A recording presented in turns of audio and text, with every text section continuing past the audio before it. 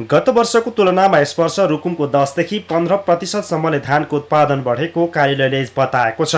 गत वर्ष नौ हजार सात सय पन्चानब्बे मेट्रिक टन धान उत्पादन भएको थियो भने यस वर्ष त्यसको दसदेखि पन्ध्र प्रतिशतसम्म बढी उत्पादन भएको जिल्ला कृषि विकास कार्यालय रुकुमका वरिष्ठ कृषि विकास अधिकृत सहदेव प्रसाद हुमागाईले बताउनुभयो। रुकुम जिल्लामा झन्डै तिन हजार पाँच सय हेक्टर क्षेत्रफलमा धान खेती भएको थियो। यस वर्षको अनुकूल मौसमको कारणले गर्दाखेरि र किसानहरूले उन्नत प्रविधि बिउ बिजन लगाउनु भएको कारणले गर्दाखेरि अहिले हाम्रो प्रारम्भिक अनुमान चाहिँ दसदेखि पन्ध्र प्रतिशतसम्म धानको चाहिँ उत्पादनमा वृद्धि हुने हामीले अनुमान गरेका छौँ।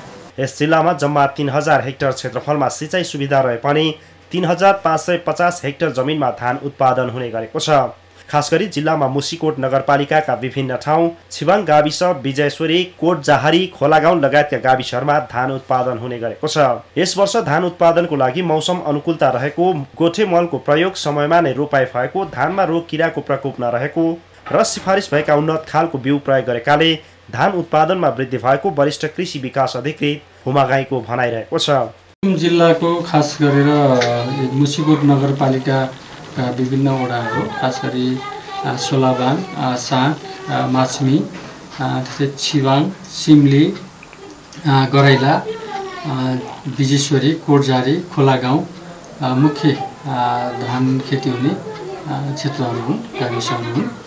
र यस वर्ष मुख्य गरेर चाहिँ धानको उत्पादन वृद्धि हुनेको मुख्य कारणमा चाहिँ मौसमको अनुकूलता र उन्नत खेती प्रविधि र साथसाथै जिल्ला कृषि विकास कार्यालयबाट हामीले उन्नत बिउ कृषक समूह सहकारीहरूलाई प्रशस्तै मात्रामा हामीले वितरण पनि गरिएको थियो। रुकुममा खास गरी खुमल चार खुमल दस सुखा तिन सावित्री लगायतका जातको धान बढी उत्पादन हुने भएकाले किसानहरूले पनि अहिले त्यही नै प्रयोग गर्ने गरेको कार्यालयको भनाइरहेको छ। धानलाई आवश्यक पर्ने मलजलको पनि राम्रो व्यवस्था भएपछि र समयमा नै धानले पाउनुपर्ने आवश्यक तत्त्व पाएका कारण धानको उत्पादनमा वृद्धि भएको हो।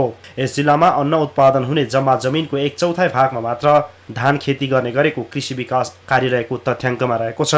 आगामी वर्षमा धान खेतीलाई अझै विस्तार गर्नको लागि जिल्ला स्थित सबै निकायसँग समन्वय गर्ने कार्यालयको योजना रहेको छ। धान उत्पादन थोरै भूभागमा भए पनि मध्यपश्चिमका पन्ध्र जिल्ला मध्ये रुकुम खाद्यान्नमा आत्मनिर्भर रहेको छ। न्युज ट्वेन्टी फोरका लागि रुकुमबाट टिभी जर्नलिस्ट लोकेन्द्र खनालको रिपोर्ट।